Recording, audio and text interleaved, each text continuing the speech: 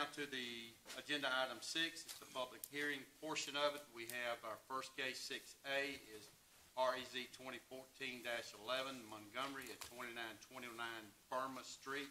Mr. Davenport?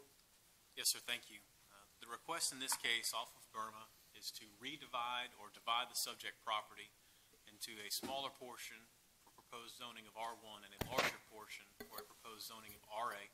It's been through staff and the planning commission with recommendations of approval, and we believe it's ready for your consideration tonight, sir.